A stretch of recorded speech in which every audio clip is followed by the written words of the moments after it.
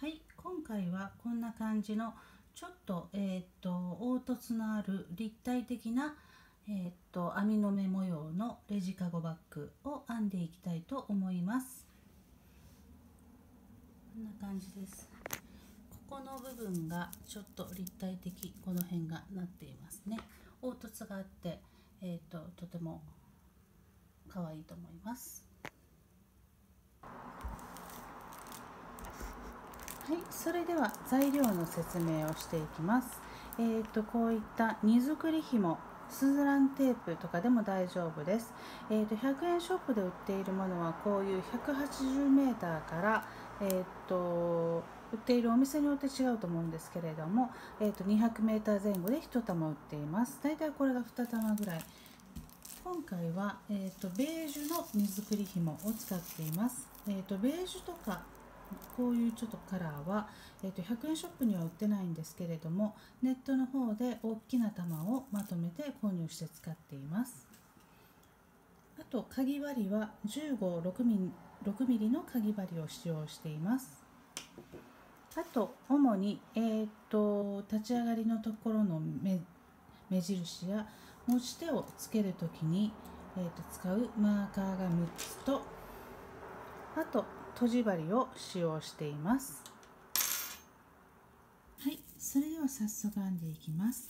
糸端を少し残して鎖編みを10目編んでいきます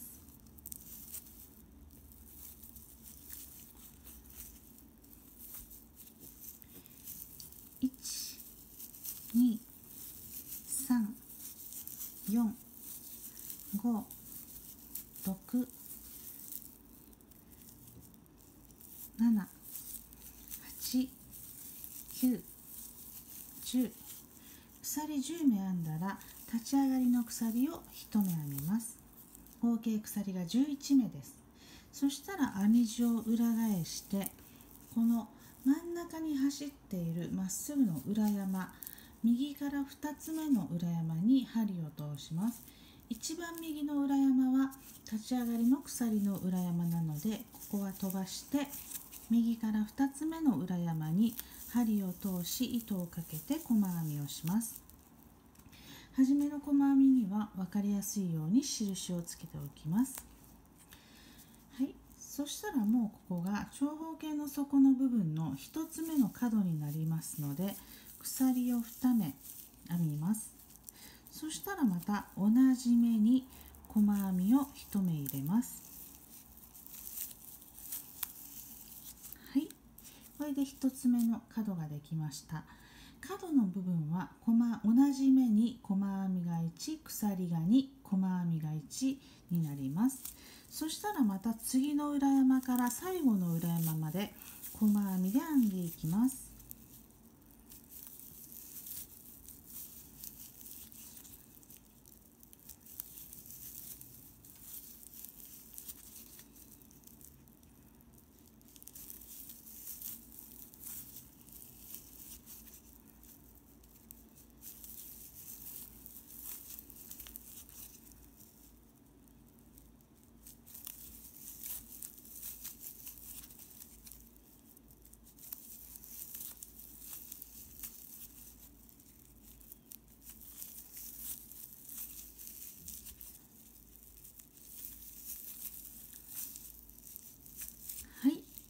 最後の裏山まで細編みを編んできましたそしたらこが2つ目の角の部分になりますので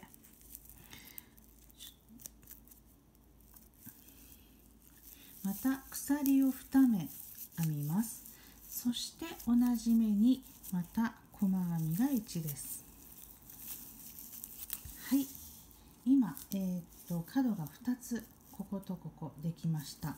そしたらもうすぐ3つ目の角の部分になりますのでまた鎖を2目編みます。そして同じ目に細編みが1です。はいこれで3つ目の角が出来上がりました。えーと最後の裏山には細編み1鎖が2また細編みが1鎖が2細編みが1が入っている状態になります。そしたら次の目から次の目にまた針を通して糸端を編みくるみながら最後の目まで細編みをしていきます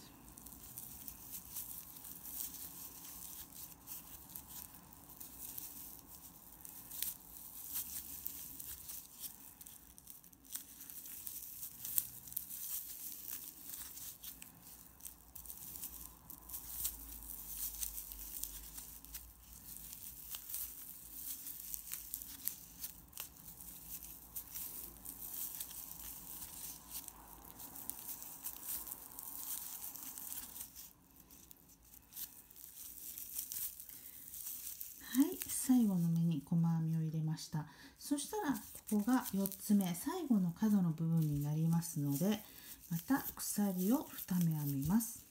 で本当だったらもう一度同じ目に細編みとなるんですが1段目の最後の角だけ、えー、っと最後の細編み1はせずに印をつけておいた初めの細編みの目に針を通し糸をかけて引き抜いて1段目が終了となります。はい。それでは2段目に行きます。また鎖1目で立ち上げて根元から細編みです。初めの細編みには分かりやすいように印をつけておきます。そうするともう早速下の段のこの鎖2目の角の部分になりますのでここに細編みを入れてまた角なので鎖を2目入れてまた同じ目に細編みを1目入れます。はい。そしたら次の目からまた2つ目の角までずっと細編みで編んでいきます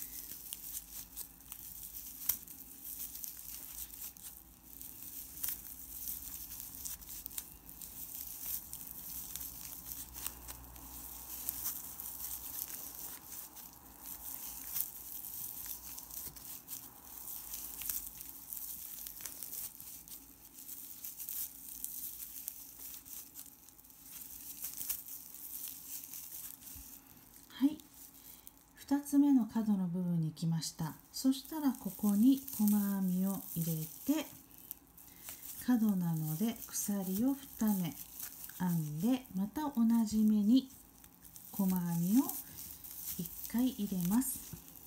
はい。そしたらちょっと埋もれ気味なんですが横に下の段の細編み1目の部分がありますのでここには細編みを普通に入れてそうすると次が下の段の鎖2目の角の部分になりますのでまた細編みを1入れて角なので鎖を2目編んで同じ目にまた細編みを1目入れます。はい。そしたら次の目から最後の角までずっと細編みで編んでいきます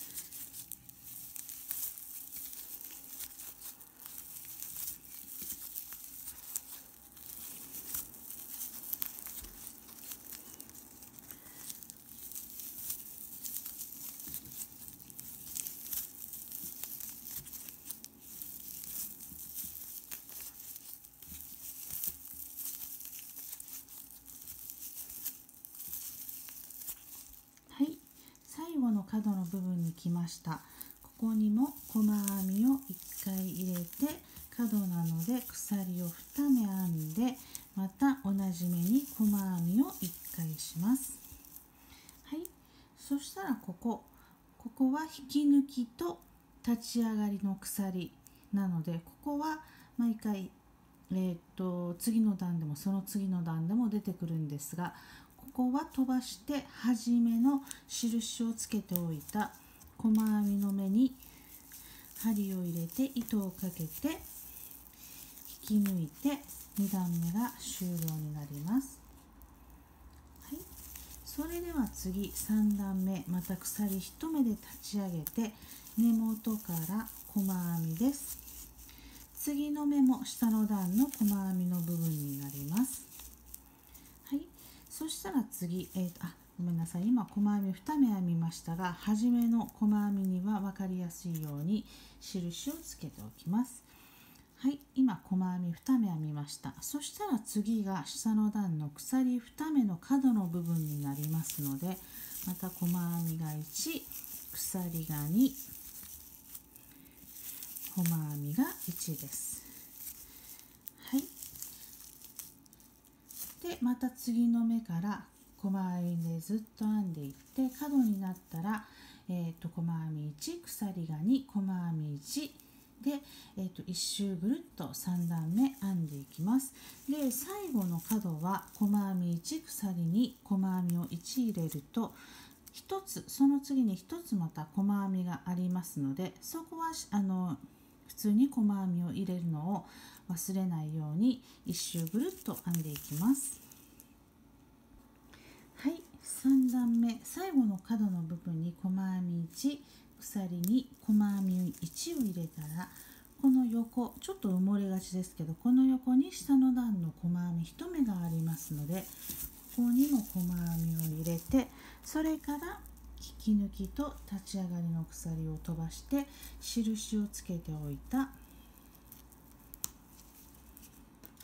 初めの細編みの目に針を入れて糸をかけて引き抜いてこれで長方形の底部分の3段目が終了になります。そしたら、えーと、段が変わるごとに鎖1目で立ち上げて同じ要領で4567段7段目まで編んでいきます。はい長方形の底部分7段目まで編めました。それでは次8段目。えーと、また鎖1目で立ち上げて根元から細編みで編んでいくんですが8段目は角の部分に鎖編みを入れずに、えー、と細編みを2目編んでいきます。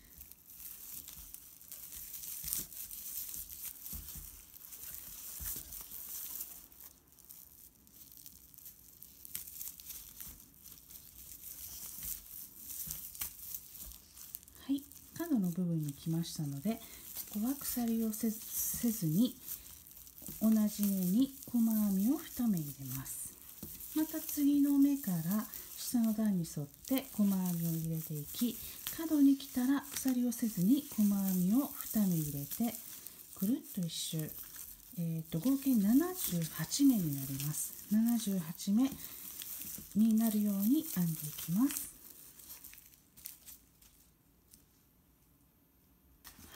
8段目が出来上がりました。角の部分は鎖をせずに細編みを2目編んで、えー、とぐるっと1周編んできました。今、えー、と全部で細編みが78目になっています。はいそれでは9段目編んでいきます。また鎖1目で立ち上げて根元から細編みで、えー、78目増減なく1周ぐるっと編んでいきます。9、10、11、3段は78目増減なく、えー、と編んでいきます。それでは、えー、と11段目、9、10、11、11段目まで78目細編みで3段編みます。はい、細編み78目増減なく、えー、と11段目123456789101111段目まで編んできましたそしたら目から針をちょっと取って編み地を裏返していきます。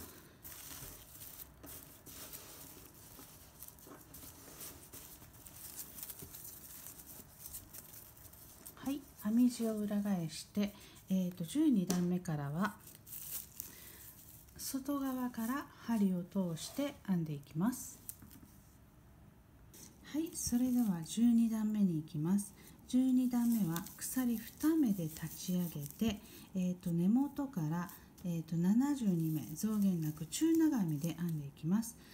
中長編みなのでまず針に糸をかけて根元の目に針を通し糸をすくう。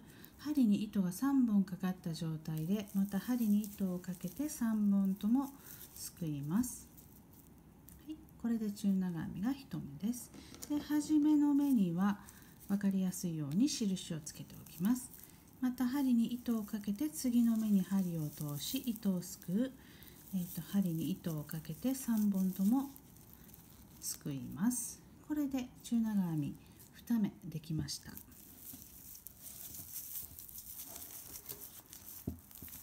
い。これをぐるっと1周78目。増減なく編んでいきます。12段目中長編みで78目増減なく編んできました。そしたらここは、えーと、引き抜きと立ち上がりの鎖を飛ばして初めの印をつけておいた初めの目に針を入れて糸をかけて引き抜いて12段目が終了です。そしたら13段目に行きます。また、えーと、鎖2目で立ち上げてえーと、普通だったらこう根元にここその次はここここと針を入れていくんですが、えーと、13段目はこの目の裏の目。ここですね。ここここ。裏の目に針を入れていく形になります。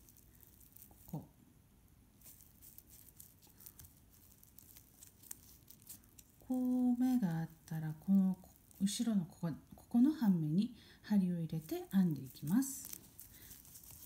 はい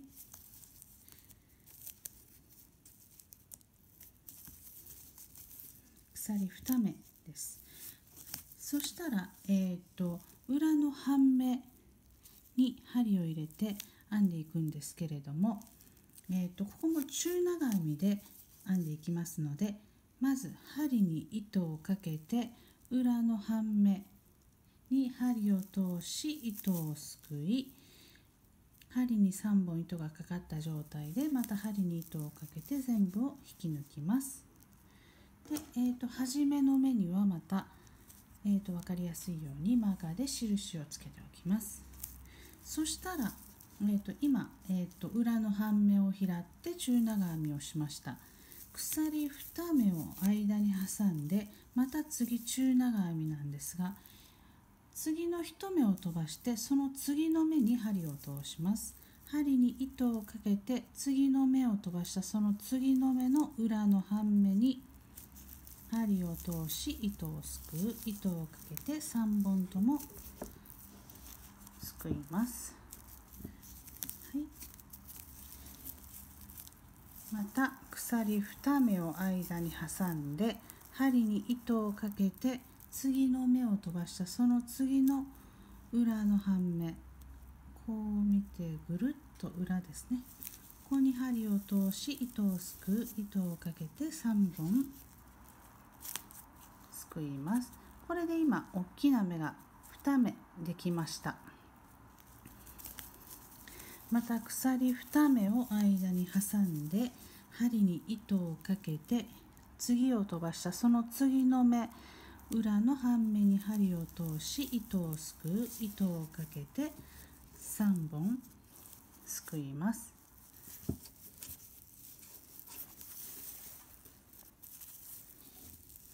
1目飛ばしたその次の裏の半目。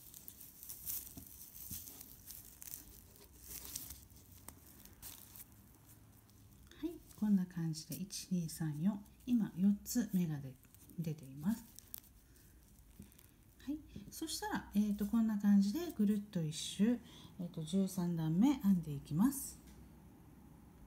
はい。13段目、えーと、とこの目の後ろの半目を拾って、えー、と中長編みを編んで間に鎖2目を挟んでぐるっと1周編んできました。そしたら最後は鎖2目で印をつけておいた初めの目に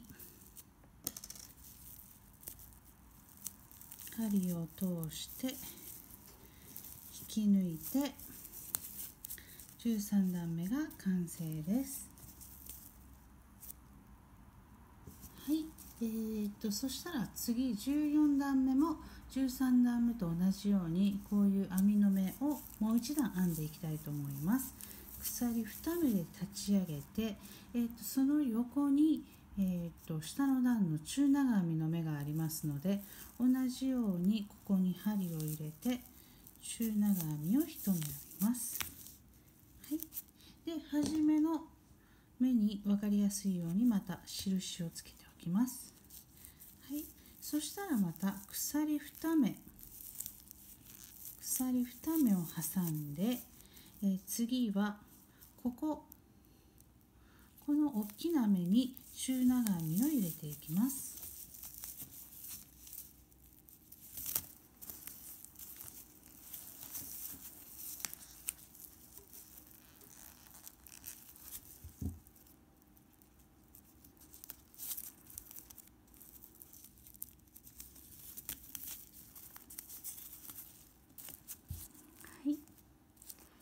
でまた鎖2目で中長編みなので針に糸をかけて次の大きな目に針を通し糸をすくう。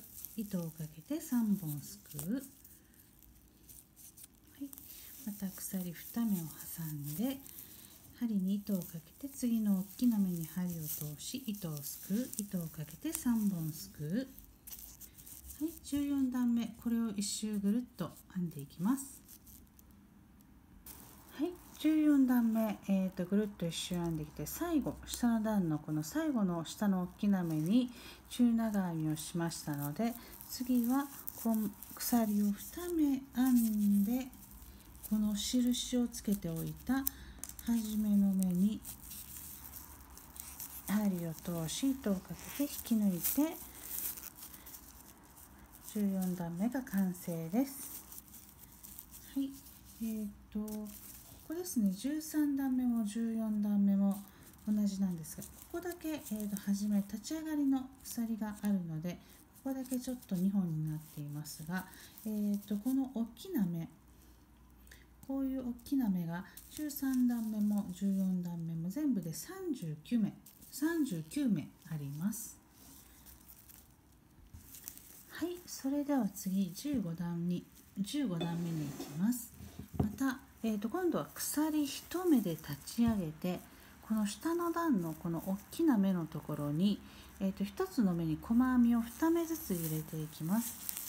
1 2初めの細編みの目に印をつけておきます。で次の目にも1 2これで1周ぐるっと、えー、1つの目に細編みを2目入れて編んでいきます。えー、と全部でこの目が大きな目が39目ありますのでまた細編み、えー、と1周、えー、と2目ずつ入れて1周編むと下の段と同じように78目になります。それでは15段目1つの目に細編みを2目ずつ入れてぐるっと1周編んでいきます。はい15段目下の段の大きな目に細編みを2目ずつ入れてぐるっと1周編んできました。今78目になっています。そしたら印をつけておいた初めの細編みの目に針を入れて糸をかけて引き抜いて15段目が終了です。そしたら次16段目はまた鎖2目今度は2目で立ち上げて根元から中長編みをぐるっと一周増減なく78目編んでいきます。中長編みなので針に糸をかけて根元に針を通し糸をすくう。糸をかけて3本すくう。初めの、えーと中長編みの目に印をつけておきます。また針に糸をかけて次の目に針を通し糸をすくう糸をかけて3本すく。うこれで中長編みが2目目です。これで1周、えー、78目増減なく15段目を編んあごめんなさい。16段目を編んでいきます。はい。16段目えー、っと中長編みでぐるっと1周78目編んでいきました。そしたらこの下の段の引き抜き、えー、と引き抜きと立ち上がりの鎖を飛ばして印をつけておいた初めの目に針を通し糸をかけて引き抜いて16段目が終了です。はい、この、えーと、16段目っていうのはこの、えーと、12段目と同じです。ここでも中長編みを、えーと、編んだと思う細編みをずっと底の部分編んできて中長編みを編んでいったと思うんですけどもこれの今繰り返しが16段目になってます。で、えー、とここ次はこの編みの目をまた2段全く同じように編んでいきます。はい、そしたら次17段目また鎖2目で立ち上げて、えー、中長編みですね針に糸をかけてこの目の後ろの半目後ろの半目に針を通し糸をかけてでまた針に糸をかけて3本すくいますはい初めの目には印をつけておきます。この網の目の時は網の目の網の目の1段目、えーと、13段目も同じだったんですけれどもこの目の裏の半目を拾って編んでいきます。そしたらまた鎖2目を挟んで針に糸をかけて次の半目を飛ばしてその次の目に針を通し糸をすくい糸をかけて3本とも引き抜きます。はい。そしてまた鎖2目で挟んで針に糸をかけて次の目を飛ばしたその次の目のこの裏の半目ですね。ここに針を通し糸をすくい糸をかけて3本。よいしょ。すくいます。はい。この、えーと、13段目と同じようになっています。ここと同じですね。鎖2目編んで針に糸をかけて次の目を飛ばしてその次の裏の半目に針を通し糸をすくい糸をかけて3本すくいます。はいこんな感じです。では、えーと、17段目これを1周ぐるっと編んでいきます。はい17段目、えーと、ぐるっと1周編んできて最後の目まで編んできました。そしたらまた最後は鎖2目で印をつけておいた初めの目に針を通し引き抜いて終了です。はいえーと、下の段同様えーとここ17段目もこの大きな目が39目になっています。はいそれでは18段目編んでいきます。18段目もまたここと同じように鎖2目で立ち上げて、えーと、その横に下の段ですね、えー、中長編みがありますので1目中長編み。を編みます。下の段と合わせてっていう感じですね、はい、そしたら初めの目にはまた印をつけておきます。はい。そしたらまた鎖2目で次はここ隣の大きな目のところに針に糸をかけて大きな目に針を通し糸をすくう。糸をかけて3本すくう。したらまた鎖2目で次の大きな目のところに針を通し糸をすくう糸をかけて3本引き抜いてこんな感じです。はい。もう下の段とかと同じ編み方になりますので18段目これで1周ぐるっと編んでいきます。はい18段目最後の目に、まあ、中長編みを入れたところなので最後また鎖2目で印をつけてる初めの目に針を入れて糸をかけて、はい、引き抜いて18段目が終了になります。はい、こんな感じでえー、っとここにも下の段ですね編みの目が2段入って細編み中長編みでまた編みの目が2段入ってる感じです。はい。はい、次19段目。19段目に行きます。今引き抜いたところなので、また鎖1目で立ち上げて、えっ、ー、とここと同じですね。下の段の。編み目が終わった1つ上のところ、えー、っとこの大きな目のところに細編みを2目ずつ入れていきます。はい、初めの細編みに印をつけておきます。で次の目にも細編み2目。は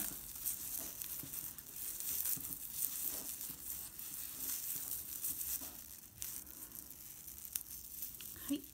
1つの大きな目に、えーと、細編みを 2, 2目ずつ入れてぐるっと1周編んで78目編んでいきます。はい。19段目、えーと、1つの目に細編みを2目ずつ入れてぐるっと1周編んできました。そしたら印をつけておいた初めの目に針を入れて引き抜いて19段目、えー、全部今ぐるっと1周78目になっています。はい次また20段目に行きます、えー、20段目もまたこの下同じですね。ずっと同じようにここの部分と同じように今ここ編んできてるっていうことなので次は中長編みを、えー、っと78目編んでいきます。鎖編み2目で立ち上げて根元から中長編みで編んでいきます。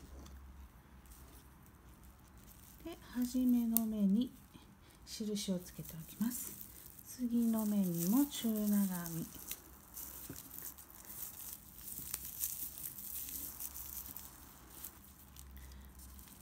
はいこれでぐるっと1周。78目。中長編みで編んでいきます。はい。20段目。中長編みで、えーと、と1周ぐるっと78目ですね。編んできました。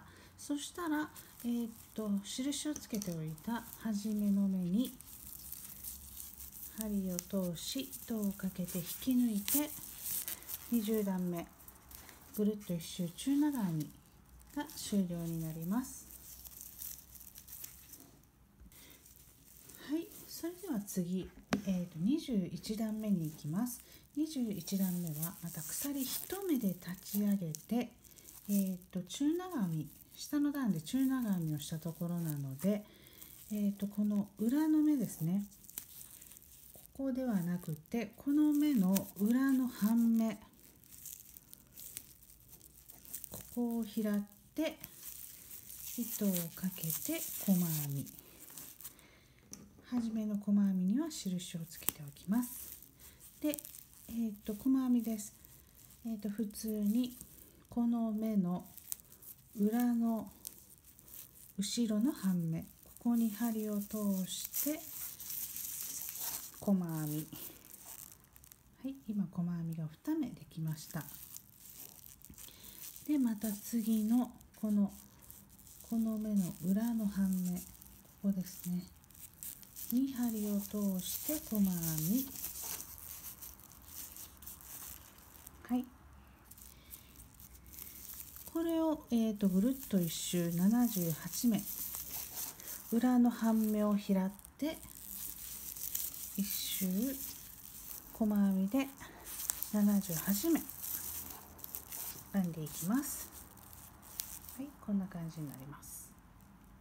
はい21段目はこの目の裏裏の半目を拾って、えーと細編みでぐるっと1周78目編んできました。そしたら印をつけておいたまた初めの目に針を入れて糸をかけて引き抜いてはい21段目が終了となります。こんな感じでこの、えーと、中長編みのところのコウメがこうちょっと立体的に浮き出て編み地模様になっている形になります。3本ありますね。はい。そしたらえー、っと次。22段目からは持ち手を編んでいきたいと思います。22段目2324あと3段持ち手が3段になりますので3段で終了になります。はい次22段目持ち手の部分を編んでいくんですがその前に、えー、とまず印をつけていきたいと思います。こう底を見ながらちょうどこう綺麗に半分になるところ。今回私はこの半分のところが編み始めのところ歪みがそんなになかったのでここで大丈夫なのでここから39目のところに印。をつけます。これでちょうどこう半分になっています。そしてえー、っと持ち手となるこの4箇所にさらに印をつけていきます。この持ち手根元の次の目から12345678910111213番目の目に印。そして反対側もここ引き抜きは飛ばしますのでその次の目から1234567891011121313番目のところに印。反対側この半分の印をつけた次の目から13番目に印。またこの半分の次の目から13番目に印。を4箇所つけていきます。ここの部分が持ち手の部分になっていきます。ちなみにこの持ち手の印と印の間ここは12目こちらも12目になっています。それでは22段目持ち手を編んでいきます。まず鎖1目で立ち上げて根元から1つ目の印のところまで細編みで編んでいきます。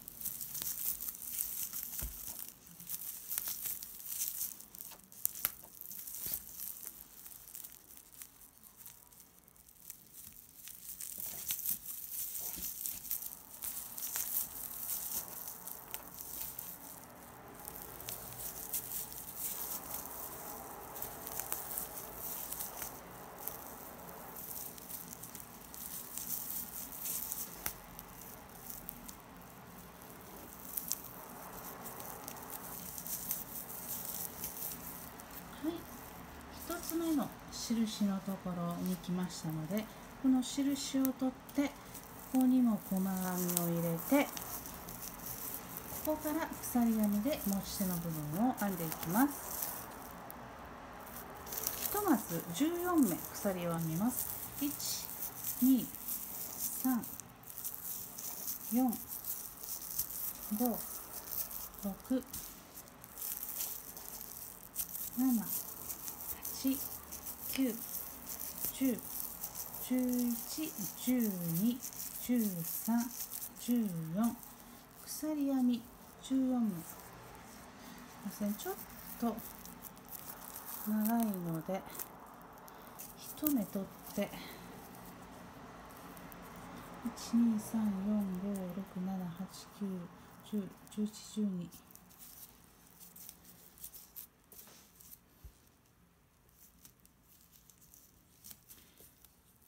3 4 5 6 7 8 9 1 0 1 1 1 1 2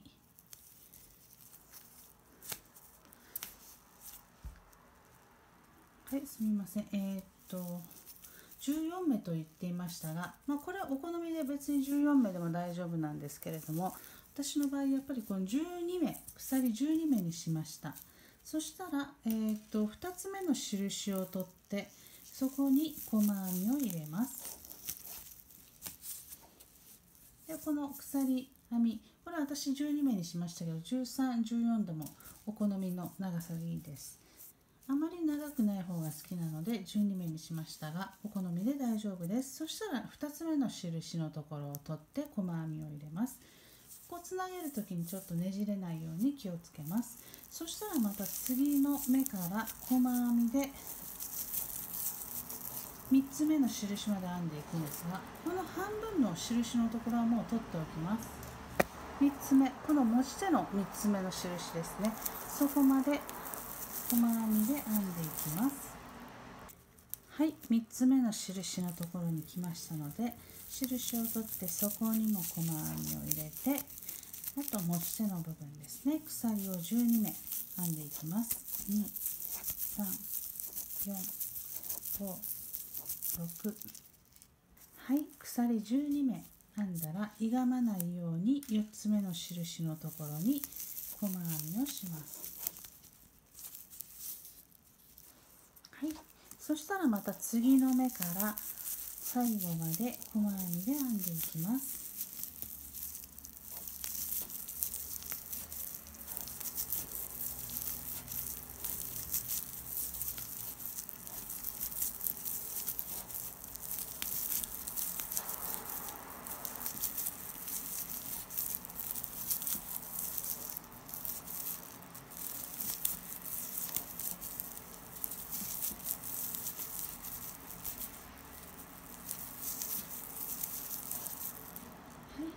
最後まで編んできました引き抜きと立ち上がりの鎖は飛ばして初めの細編みに針を通し糸をかけて引き抜いて持ち手の1段目22段目が完成です。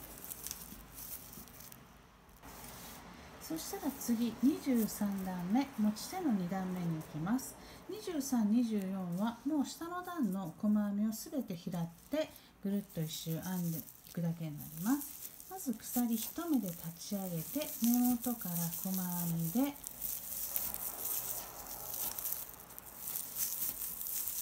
編んでいきます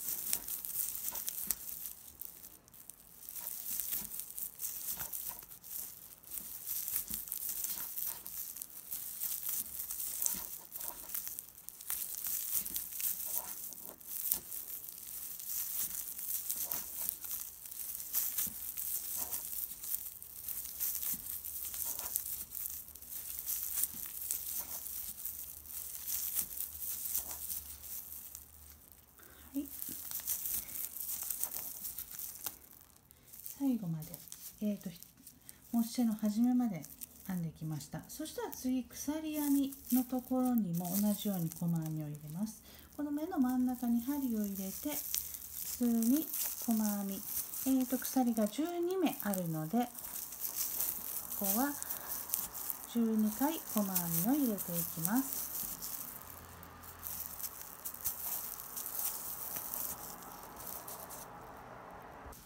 えーと、鎖のところにも全て細編みが入りました。そしたらこの根元のここにも細編みを入れてまた次の目から反対側の持ち手も同じように鎖をの部分を開って細編みでぐるっと一周編んでいきますそしたら、えーと、初めの目に引き抜いて24段目も鎖1目で立ち上げてまたぐるっと一周細編みで編んで終了になります。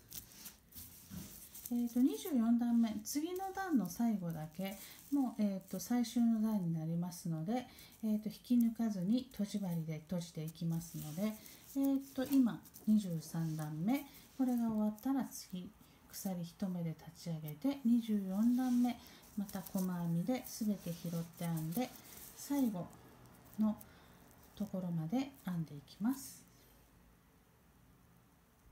はい、えーと、23段目24段目は、えーと、細編みでずっと下の段の目を開って、えーと、編んできたところです。最最終段の24段目最後の目まで細編みで編んできました。この、えー、と引き抜きと立ち上がりの鎖は飛ばして普通だったら初めのここですね細編みに引き抜くんですが最後なのでもう閉じる分の糸を残して切ってしまって糸を引き出します。はい。そして閉じ針で閉じていきます。閉じ針に糸を通して初めの細編みの内側外側ですかね。外側からですね。こっち側から針を通しそしてこの最後の目の真ん中に針を入れて下から出してこの渡っている糸の下に針を通していきます。はい。そうするとこんな感じで目がつながりました。あとは内側の見えないところに糸処理をして終了になります。はい糸処理ができました。こんな感じでマッチもあるし高さもあるレジカゴバッグが仕上がりました。えー、っとここは網の目が2段が2つあってその間はちょっと,、えー、っと細編みと中長編みで間に挟んでいるという形になります。ちょっと立体的な、えーと、凹凸のある模様で立体的ですごく可愛いと思いますよかったら是非編んでみてください。